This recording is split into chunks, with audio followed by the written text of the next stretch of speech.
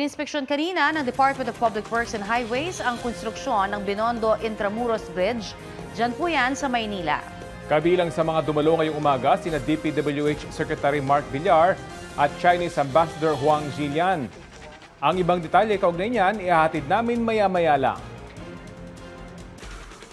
Magandang tanghali po. Oras na para sa maiinit na balita.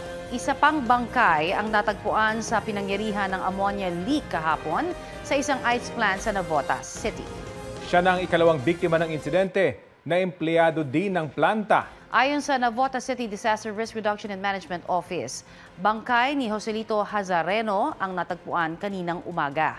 Nakita ang katawan ni Hazareno na isang electrician ng planta, may 10 metro ang layo mula sa sumabog na surge tank ng ammonia. Naon na lang kinilala ang unang biktima na si Gilbert Tiangco na isa ring empleyado ng planta.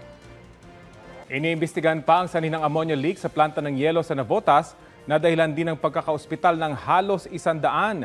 Nakauwi na kagabi ang libu-libong residente pero nagpanik uli sila ng makaamoy ng ammonia. Balita hatid ni James Agustin.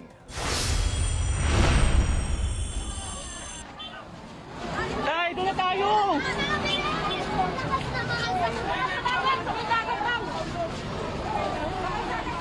Pumunta kaming dagat. Grabe, ang uh, layo na namin. Umaw pa rin, hindi kami makahinga. Umaabot na po dito sa, sa dagat. Ah, Hindi po kami makahinga. Pumunta na po kami sa pangalawang tulay. Hindi po namin kaya. So, yung, nagbubula na rin yung mga bibig ng aso doon eh. Matapos magsilikas kahapon, pinauwi na mag-alas 8 kagabi ang mga residenteng naapektuhan ng ammonia leak sa Novota City. Pero muling naglabasan sa Road 10 ng ilang residente matapos na naman makamoy ng ammonia pasado alas 11 kagabi. Sa labas po nagpapahinga, patilayan namin po muna yung amoy bago kami papasok. Inilabas magi ang mga alagang aso. Ay, napapanda kami dito kaya nabantay namin sa bahay kahit wala kami. Nakabantay pa rin naman ang BFP, fire volunteers at CDRMO sa lugar. Anila nagpanik lang ulit ang mga residente, pero normal na raw ang oxygen level at ligtas na para sa mga residente. Sa imbestigasyon ng BFP, tatlong empleyado ang nasa area ng planta kung saan matatagpuan ang surge tank na naglalaman ng ammonia na mangyari ang insidente. Ang liquid ammonia ay ginagamit bilang refrigerant para makagawa ng yelo. Laman ng surge tank ang nasa 500 galon ng ammonia. Inaalam pa raw nila kung paano sumabog ang tangke. Sumabog siya kasi ruptured yung kan eh, yung pader, Yung ano? yung mga bintana. Ay, Pader. bintana. Saka magsak yung poste nung kan, yung tangke. Yung mga leak niya, ah, nasarado natin yung lahat yung mga valve. So wala na po siyang leak. Ang naiwan po doon yung mga parang residue lang. Sa kabuuan hanggang 3,000 pamilya sa sitio Isang Puting Bato at sitio Santo Niño ang naapektuhan. Siyam na limang individual ang kinailangang isugod sa tatlong ospital. Apat ang na-discharge. Isang lalaking empleyado naman ng ice plant ang nasawi. Meron pong under observation na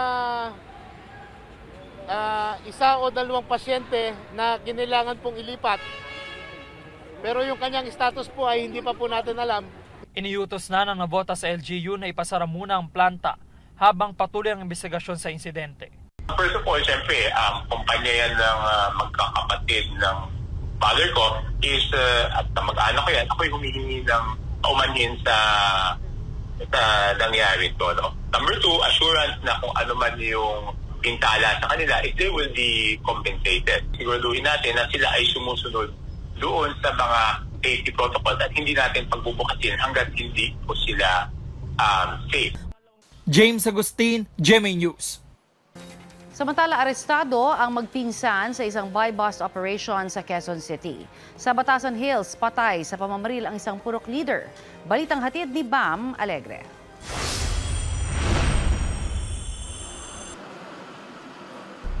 Duguang humandusay ang purok leader na si Nicanor Perez nang itumba ng riding in tandem sa labas ng kanyang bahay sa Kalayaan Extension, Barangay Batasan Hills. Habang sila ay nag-uusap-usap nung kanyang kasama, ay may bigla na lang pong apat na kalalakihan na sumulpot sa galing sa kung saan at bigla na lang po silang pinagpuputukan. Nag-i-establish pa po tayo kung ano yung motives ng ano ng pagpatay. Hindi po natin na ano hindi po natin klaro sa sa ngayon yung ano.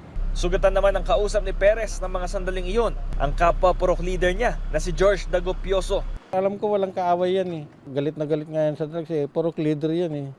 Patuloy ang investigasyon at follow-up operation sa krimen. Arestado naman ang magpinsang sina Ferdinand Lagasca alias Bong at Federico Alvarado alias JR sa isang bypass operation. Dalawampung sachet na hinihinalang shabu ang nakuha sa kanila ng pulisya. Ang halaga nito, 81,600 pesos. Ito pong mga suspect na to sir ay nag, natunto natin sa pamamagitan ng mga impormasyong nakarating sa atin galing sa ating mga confidential informants. Ah, nagkaroon po tayo ng series of validations and ah, follow-up operations hanggang sa nagka, nag-pursue ang isang ano, buy-bust operation. So, Tumanggi magbigay ng pahayag si Alvarado habang itinanggi naman ni Lagasca ang mga paratang sa kanya. Bam Alegre, GMA News.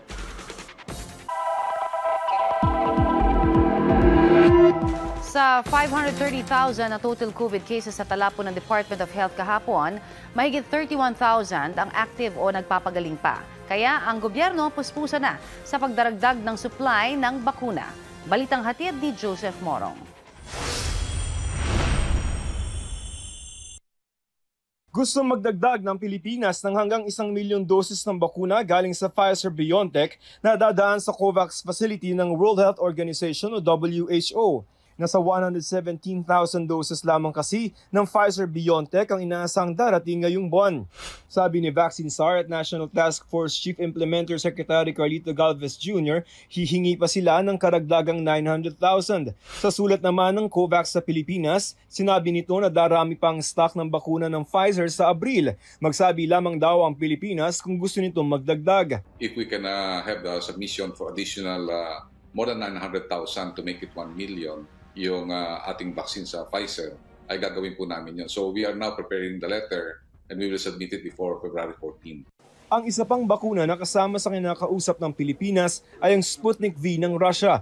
Isinapubliko na sa medical journal na Lancet ang resulta ng Phase 3 clinical trials ng Sputnik V ng Gamaleya Research Institute ng Russia. Sa press conference ng Russian Direct Investment Fund o RDIF na nagpondo sa paggawa ng Sputnik V, sinabi nila na nakita sa Phase 3 clinical trials na 90% na effective ang Sputnik V para labanan ng COVID-19 sa 20,000 na volunteers nito. It enables us to prevent development of COVID-19 infection with more than 90% of the volunteers. It is also important to say that the vaccine provides protection from severe cases of COVID-19. Sa matatandang edad 60 pataas, 91% ang bisa nito. Laban sa COVID-19, halos kapareho lamang ng ibang edad. Light o moderate lamang daw ang nakitang side effects ng Sputnik V. The most frequent adverse events that we detected were flu-like syndromes, the uh, ache at the place of injection, headache, and general weakness and fatigue. Maganda po ito. Welcome uh, ano po ito, uh, news considering that the news came from the Lancet. Uh, very, ano, very ano, peer review. And uh, nakita rin po natin na itong uh, Sputnik ay nagagamit na rin po sa more than 18 countries. Hanggang pitong vaccine manufacturers ang kinakausap ng Pilipinas para sa 178 million doses para mabakunahan ng 92 million ng mga Pilipino. Pero ayon sa DOH, kahit nagsisimula ng magbakuna ang Pilipinas laban sa COVID-19 ngayong buwan, hindi otomatikong maluluwagan agad ang ating mga community quarantine.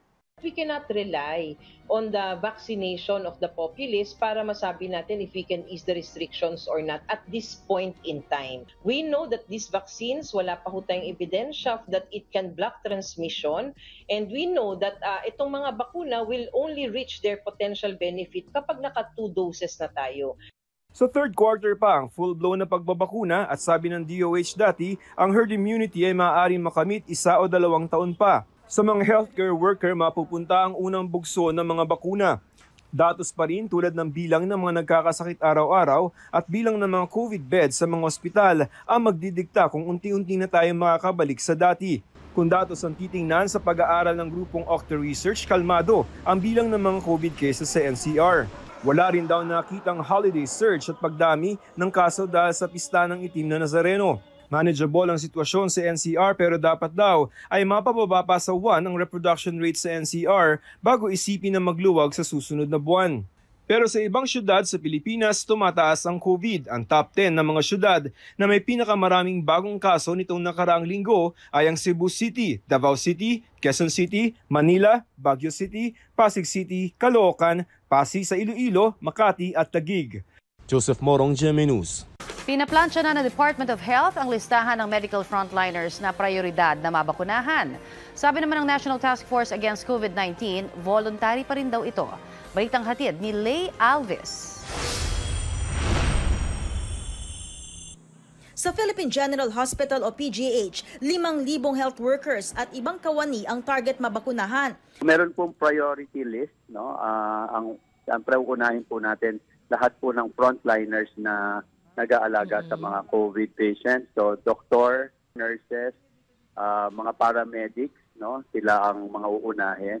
So we are targeting na within one week po ay matapos. Meron na rin pong schedule.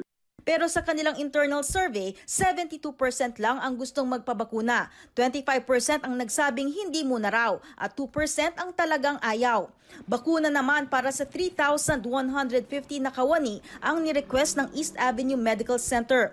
Kabilang narito ang mga healthcare workers at staff, maparegular man, contractual, outsourced at medical interns. May komite na silang nakatutok sa mga preparasyon kasama ang storage at pati na ang advocacy campaigns para matugunan ang mga agam-agam tungkol sa bakuna. excited kami dahil magkakaroon ng katugunan yung protection against COVID-19 para sa aming mga health, work- health healthcare workers. Ito ay napaka-importante para maipagpatuloy yung aming trabaho ng safe and protected yung mga healthcare workers namin. Voluntary ang pagpapabakuna sa lahat, pati sa healthcare workers. Kailangan mong pumirma ng isang free and prior consent form bago ka bakunahan. Kaya kahit ang ating mga healthcare workers ay may choice kung gusto nila o ayaw nila magpabakuna. Pero syempre, hinihikayat natin ang ating mga healthcare workers, lalong-lalo na sila ang pinaka-importante dito sa ating laban sa COVID-19. Isinasapinal na ng Department of Health ang master list ng mga healthcare worker na babakunahan.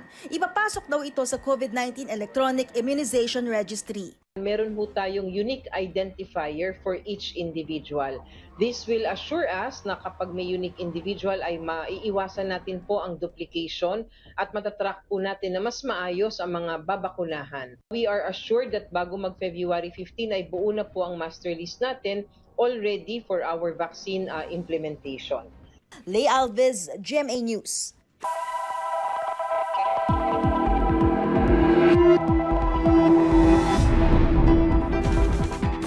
Inaprubahan na ng Manila LGU ang limitadong face-to-face classes sa University of Santo Tomas. Pero para lang po yan sa medical courses. Gate naman ni Manila Mayor Isko Moreno, voluntaryo lang at walang pilitan sa mga hindi gustong pumasok. Nito pong Enero, inaprubahan na ng Commission on Higher Education ang pagbabalik ng face-to-face classes para sa medical courses at pati universities and colleges na nasa Modified General Community Quarantine o MGCQ. Bukod sa UST, aprobado na rin ang face-to-face classes sa University of the Philippines Manila, Ateneo de Manila University at Our Lady of Fatima University sa Valenzuela. Pinag-iisipan ng Lapu-Lapu City sa Cebu na pagbawalan munang mag-operate ang anumang negosyong nasa leisure category. Kasunod ito na nangyaring paglabag sa health protocols ng isang resto bar doon na nagsinulog party. Balitang hatid ni Luan May Rondina ng GMA Regional TV, Balitang Bisda.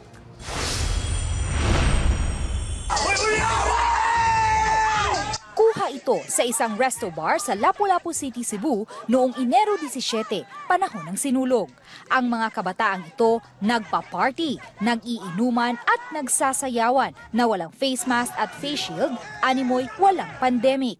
Dahil dyan, nagpadala na ang syudad ng cease and desist order sa resto bar. It's a blatant violation of the health protocols established by the city. So, na-issue na yung taog cease and desist which is an akin to a closure order. Dahil dito, magsasagawa ng random inspection sa mga negosyo sa lungsod. Ito ay upang malaman kung sumusunod sila sa mga health protocol. Hindi muna pinangalanan ang resto bar dahil wala pa itong pahayag. Pinulong din ang mga kapitan sa barangay upang mahigpit na ipatupad ang quarantine protocols sa kanika nilang jurisdiksyon. Pinag-iisipan ngayon ng syudad ang mungkahi na ipagbabawal muna ang negosyo na leisure category dahil sa pag-akyat ng mga kaso ng COVID-19. Isang grupo rin ang inatasan na susuri sa mga health protocols na pinapatupad sa mga locators ng Mactan Export Processing Zone o MEPS. Naaresto sa Laguna ang isa sa mataas na opisyal ng kumpanyang sangkot sa pyramiding scam sa Davao na nakakuha ng 8 bilyong piso sa mga biktima. Balitang hati ni John Consulta. Armado ng warrant of arrest, dinakip ng mga tauhan ng NBI Laguna District Office ang suspect na si Carl Dexter Oritor sa kanyang bahay sa Laguna. Si Oritor ang ituturing umanong isa sa top executive ng Region Marketing Group na sangkot umano sa Ponzi scheme o pyramiding na nang biktima ng libu-libong investor sa Davao at kalapit na probinsya. We have deployed our teams to arrest personalities like uh, Carl Dexter Auditor, persons behind the Rygen Marketing Financial Scam and allegedly who have amassed almost 8 billion pesos. Ayon sa NBI, nangangako ng 400% na tubo ang region marketing sa kanilang mga investors. Kaya naman mabilis na dumami ang mga nag-invest sa Tagum, General Santos, Davao del Sur at Davao Occidental. Verification na ginawa namin, uh, na-locate namin na nasa San Pablo siya at uh, meron siyang uh, tindahan doon. Marami ang uh, uh, mga naging biktima nito sa Davao. Ang sabi pa nga niya sa akin, mga 500 million ang involved o nakuha ng grupo. Saan raw siya pera? Uh, hindi daw niya alam kung nasaan yung pera. March 2020 nang maaresto ng NBI Special Task Force sa kanyang bahay sa Paranaque ang pinaka-founder ng Rygen Marketing na si Rico John Garcia na dinala na sa Tagum City sa Davao para maharap ang kasong syndicated estafa. Dalawang bilyon raw ang natangay ni Garcia mula sa 8 bilyong pisong nakuha ng grupo. Mensahe ng NBI sa mga naloko ng Region Marketing. I-assess natin yung mga nabiktima nilang nawalan ng pera sa bangko na naubos yung ipon nila. Sinikap namin kunin ang panig ng suspect pero tumanggi siya magbigay ng panayam. John Consulta, GMA News. Ang nasamsam na mahigit 17 milyong pisong halaga ng marijuana sa Luzon at ang libu-libong pisong halaga naman ng shabu na nasabat sa magkaibang uh, operasyon kontra droga sa Visayas at Mindanao. Balitang hatid ni James Agustin.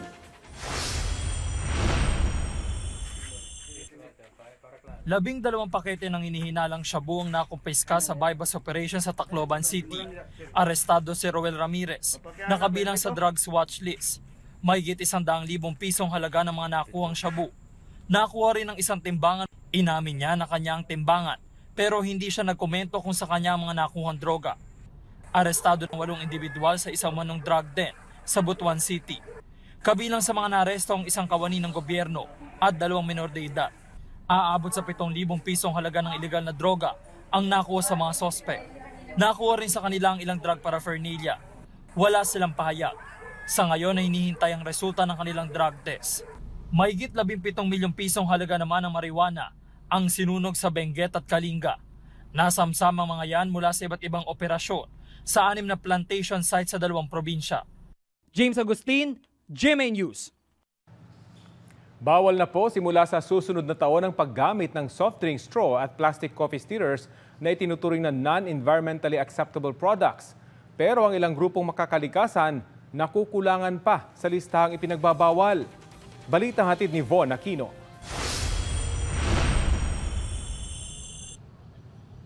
Dalawang dekada matapos maisabatas ang RA 9003 o ang Ecological Solid Waste Management Act of 2020, ngayon pa lang nag-aproba ang National Solid Waste Management Commission o NSWMC ng dalawang item na itinuturing na non-environmentally acceptable products. Ipagbabawal na ang paggamit ng plastic soft drink straw at plastic coffee stirrer o yung panghalo sa inumin sa susunod na taon. Kaya ngayon pa lang nag-iisip na ang mga nagtitinda ng milk tea kung ano ang pwede nilang ipalit sa straw. So, yung nakakain po.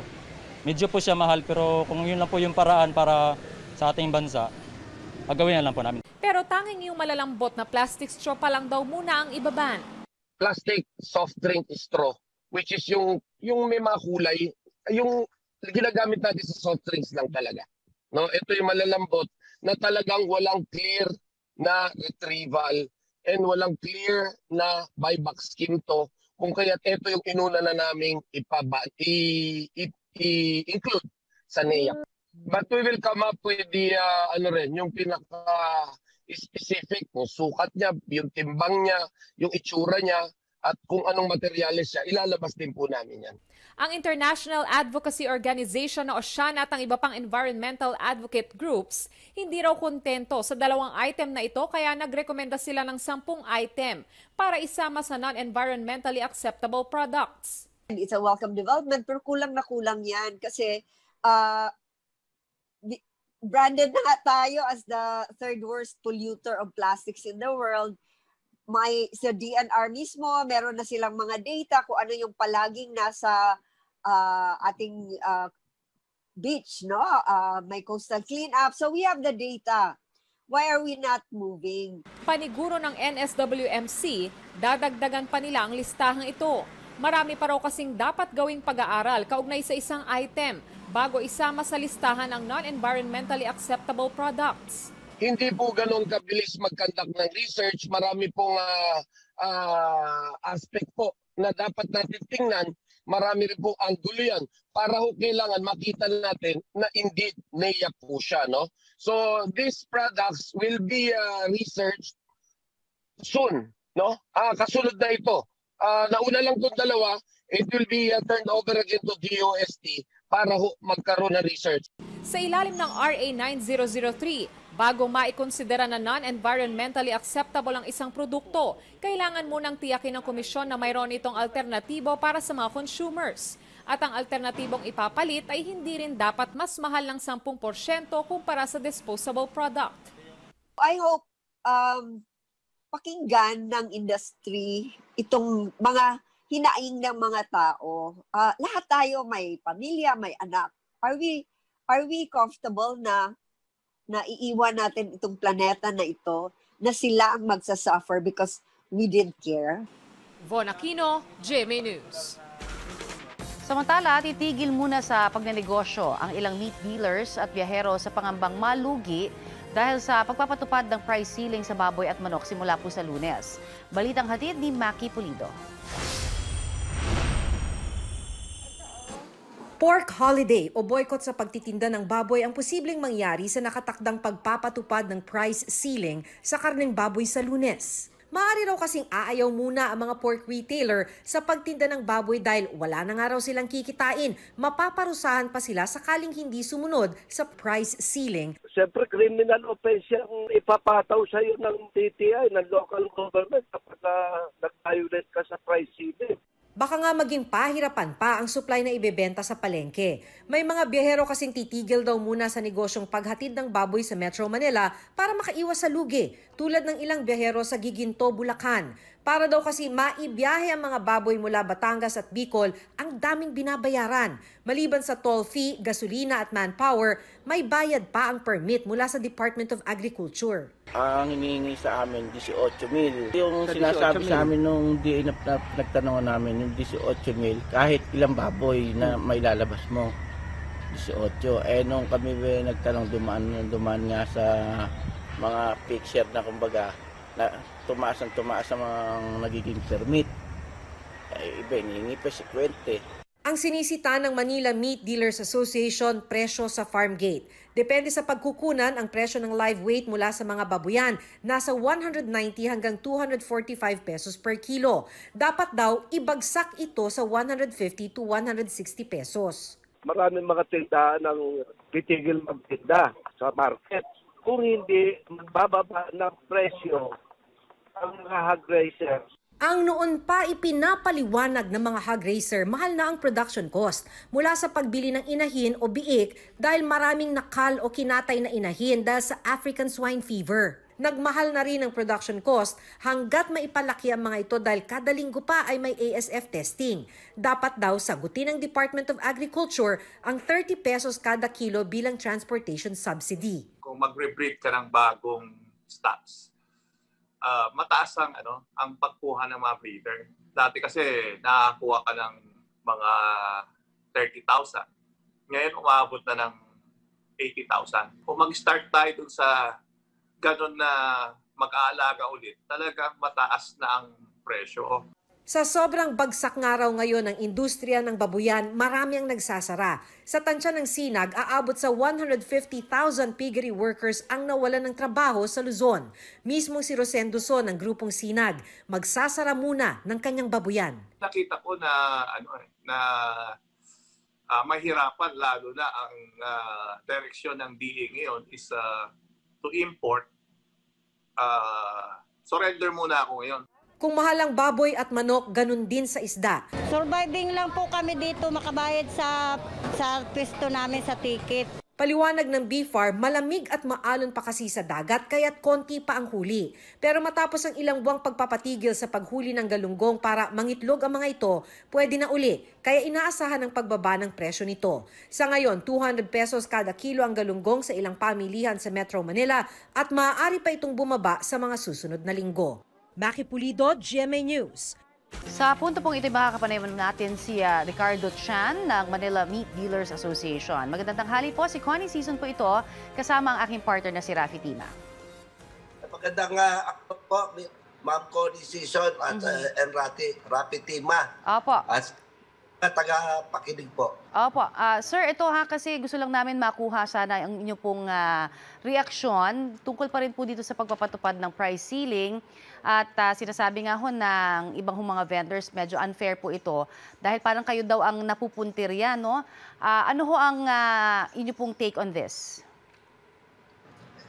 Eh, tama lang naman po ang pagdideklara ng price ceiling ng government eh. Kasi po, masyado na pong nagsamantala ang mga hog raiser dahil dahil nga po sa sa supply and demand. Alright. Pero ang, tot- ang, ang totoo naman po, bakit po sa Davao, nakaka, pagkano lang ang farm gate nila? Davao pa po yan. Tapos dinadala rito sa Maynila, may mga transportation cost yan. Pero nakakapagbigay sila ng 118 price pagdating landed price dito sa Manila. Eh bakit yung mga nandito sa Central Luzon na malapit lang, eh 250 to 270 ang farm gate nila. Eh, pareho lang naman po ang kinakain ng mga baboy na yan. Pati eh, sa ginagastos sa bio- biosecurity.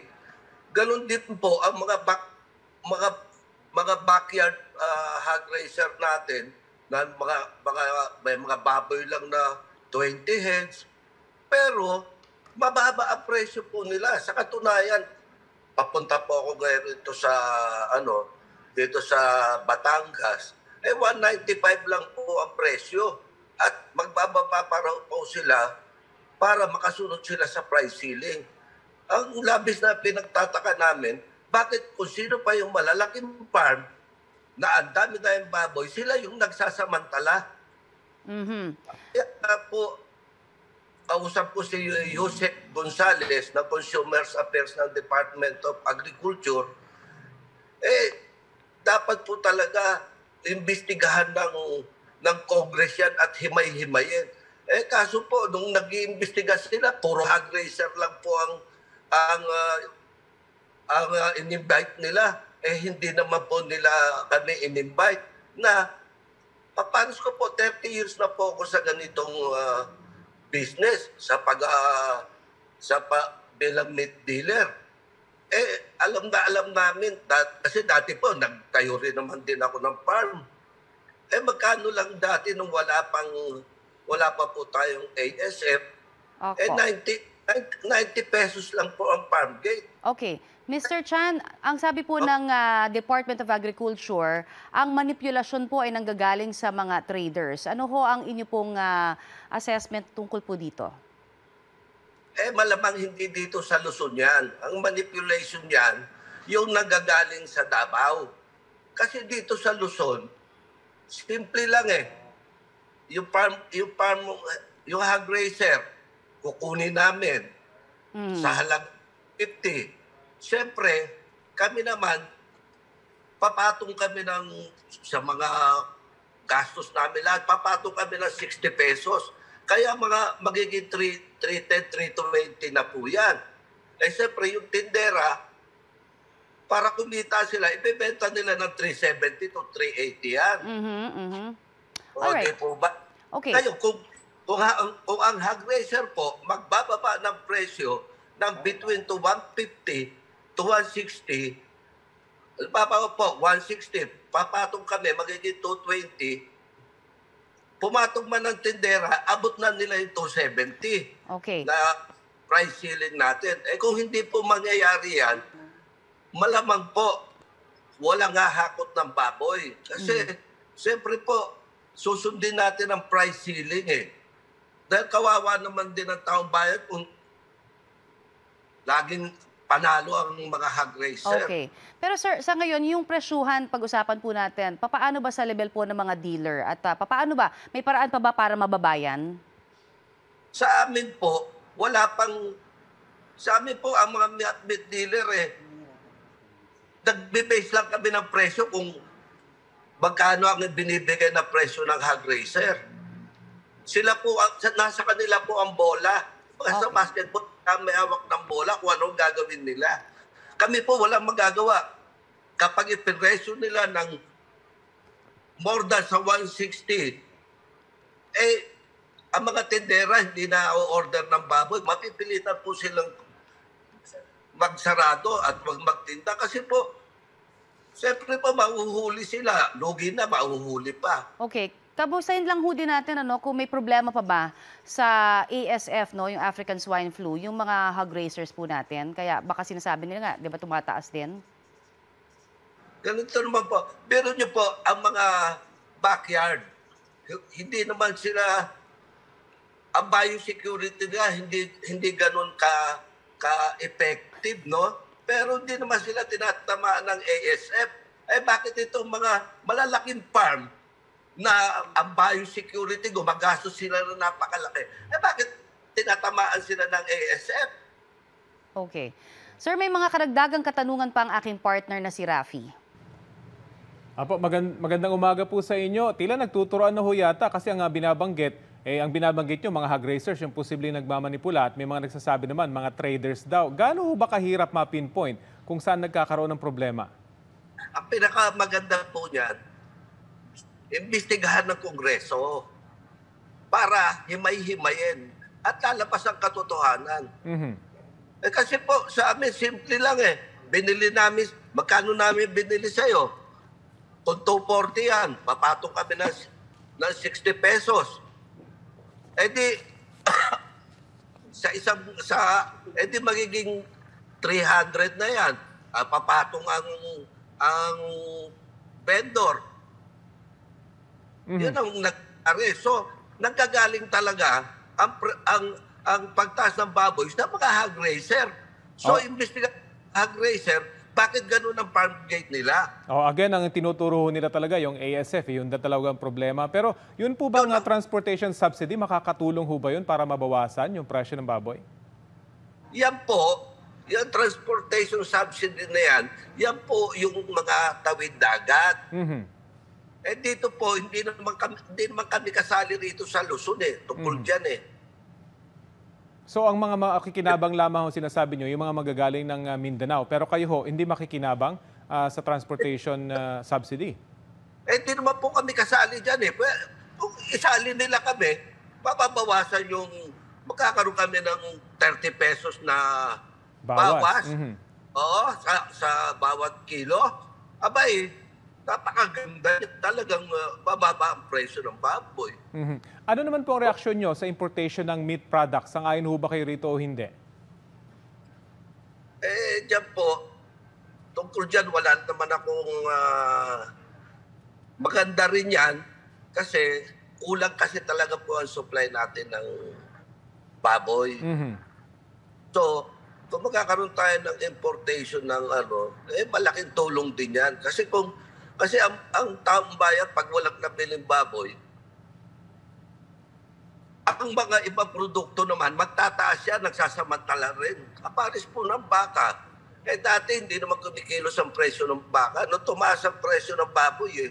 Tumaas na rin ang presyo ng baka. Tumaas din po ang presyo ng isda. Mhm. Tumaas din ang presyo ng manok. So, kapag nagkulang talaga ang sa supply ang baboy, wala ganong nakakabili, nagsasamantala naman ng ibang produkto. So talagang Ganun po yan. Aha, so talagang law of supply and demand talaga. Anyway, ang sinabi po ng DA, nag-iimbestiga na raw sila at anytime daw il- ilalabas na raw nila yung ah, resulta ng kanilang investigasyon. Maraming salamat po sa inyo sa oras na ibinahagi niyo po sa Balitang Hali. Maraming salamat din po at ah, napapakinggan din po ang aming panig. Good morning po. Si Ginoong Ricardo Chan ng Manila Meat Dealers Association. Susunod, paggamit ng Moderna COVID vaccine, aprobado na sa Singapore. At ang mukbang with a twist ni Kiray Celis at kanyang boyfriend. Dito lang po yan sa Balitang Hali. Patay sa pamamaril ang isang ah, magtsuhin sa Zamboanga del Sur at isang babae sa Bacolod City. Yan at iba pa sa Balitang Hatid ni Corinne Katibayan.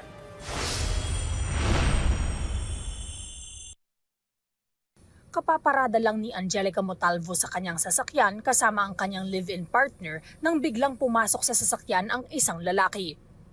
Tinutukan daw sila ng baril at inutusang paandarin ang sasakyan.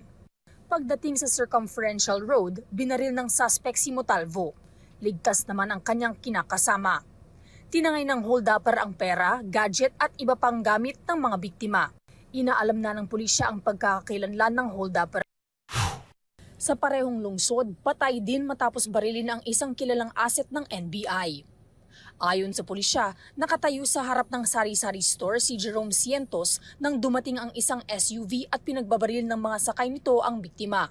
Nakabonet ang mga suspect na agad namang tumakas. Nasawi si Cientos habang hindi naman nasaktan ang kanyang kaibigan. Dead on the spot ang magtsuhing sina Rudy Pedrosa at Runel Vestal sa barangay Rebocon, Dumalinaw, Zamboanga del Sur. Base sa investigasyon, naglilinis sila ng mga nahuling isda at palaka nang dumating ang ilang individual at pinagbabaril ang dalawa sa likod ng kanilang bahay. Sa dami ng tama ng bala, agad silang namatay. Blanco pa ang mga otoridad sa motibo sa pamamaril. Pero kilala umanong sangkot sa mga masasamang gawain ang mga biktima. Nagsasagawa na ng follow-up operation ang mga pulis. Corinne Katibayan, GMA News. Balikan po natin ang inspeksyon sa ginagawang Binondo Intramuros Bridge sa Maynila. May ulat on the spot si June Veneracion. June? Kung magkasama ang inspeksyon ni uh, DPWH Secretary Mark Villar at Chinese Ambassador to the Philippines sa Wang Zilian ang ginagawang Binondo Intramuros Bridge. Ito ang tulay na magdudugtong sa magkabilang panig ng Pasig River sa bahagi ng Maynila. Sabi ni uh, Secretary uh, Villar, maituturing ito na regalo ng Chinese government dahil uh, walang gastos ang gobyerno ng Pilipinas nito. Ininspeksyon ito ni Villar at Ambassador si Ian para matiyak na walang aberya at masusunod ang target completion date na Setyembre ng uh, taong ito. Sa ngayon, wala naman daw nakikitang delay sa proyekto. Sabi ni Villar, karamihan sa mga mga gawa sa proyekto ay mga Pilipino, pero meron din namang mga Chinese technical expert. Ayon kay Ambassador Silian, meron pang mahigit isang dosenang proyekto ang pinag-uusapan ng dalawang uh, gobyerno na inaasahang makakatulong sa pagbangon ng Pilipinas. Samantala, sinabi naman ni Ambassador Silian na patuloy nilang hinilikayat ang mga Chinese investor na maglagak ng puhunan sa Pilipinas. Ito ay sa kabila ng pagkansila ng uh, Cavite Provincial Government sa pag-award ng uh, Sangli Point uh, Airport deal sa isang uh, Chinese consortium. Hindi noon ng Ambassador Silian na walang kinalaman ang Chinese Central Government sa usapin ito. Connie? Maraming salamat, June Veneracion. Inalala ni Senate President Tito Soto ang naging mga kontribusyon ng pumano na si dating Senador Johnny Henry Osmeña. Honored daw si Soto na nakatrabaho niya si Osmeña sa 9th at 10th Congress. Pumanaw ang dating senador sa edad na 86, halos isang taon matapos magpositibo at gumaling mula sa COVID-19. Nakremate na ang kanyang labi. Nagpahayag din ng pakikiramay ang Senado sa pagpanaw rin ni dating Senador Victor Ziga. Pumanaw naman siya sa edad na 75. Hindi dinitalye ng mga mahal niya sa buhay ang dahilan ng kanyang pagkamatay. I am ready! GMA Weather, serbisyong totoo ng GMA News. Lalo pang lumakas ang pag-iral ng hanging amihan. Mula Luzon, umaabot na ang amihan hanggang Visayas ayon sa pag-asa. Kanina, nakapagtala ng 12.8 degrees Celsius na minimum temperature sa Baguio City.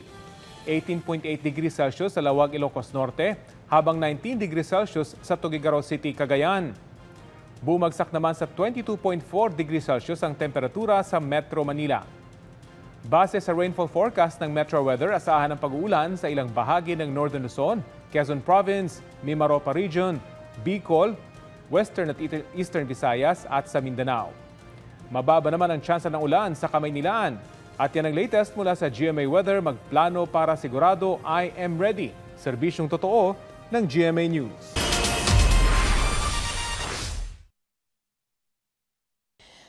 And Fab si Rian Ramos sa latest IG post niya. Matatanda ang last year marami ang nakapansin sa biglaang pagpayat niya because of stress at breakup with her boyfriend. Ngayong may pandemya, hindi nakalimot si Rian na tumulong sa mga nawala ng trabaho sa Paranaque. Samahan niyo ako in this episode vlog. Si Miss Universe 2018 Catriona Gray ang host ng web series ng Kultura 101 ng National Commission for Culture and Arts. Tampok dito ang iba't ibang kwento ng sining, kultura, kasaysayan at pagkain. Simula February 20, mapapanood na ito sa Facebook page ng NCCA. Ngayong buwan ng mga puso, may nakakakilig at funny entry si Oh My Love star Kiray Celis at boyfriend na si Stefan Estopia. Nagmukbang kasi sila with inihang platter habang naka-blindfold. Kaya naman napuno ng tawanan ng vlog nila. Gaganap bilang masahista ang bagong kapuso at Urduha Heritage Film Best Actor na si Royce Cabrera sa magpakailanman sa Sabado sa GMA 7. Nakakuha na rin siya ng nominasyon sa Urian Awards at Young Critics Circle bilang Best Actor. Kasama rin dito si Neil Ryan Sese, Alma Concepcion at Starstruck Season 7 Ultimate Male Survivor Kim De Leon. At naway nabusog po kayo sa may init na balita sa oras na ito. Araw-araw pong tumutok sa Balitang Hali para sa mga balitang walang kinikilingan, walang pinoprotektahan. Walang kasinungalingan, serbisyong totoo po lamang mula sa tahanan ng katotohanan. Ako po si Connie Season. Buong puso para sa Pilipino. Ako po si Rafi Tima. Ang inyong mga kasalo dito sa Balitang Hali.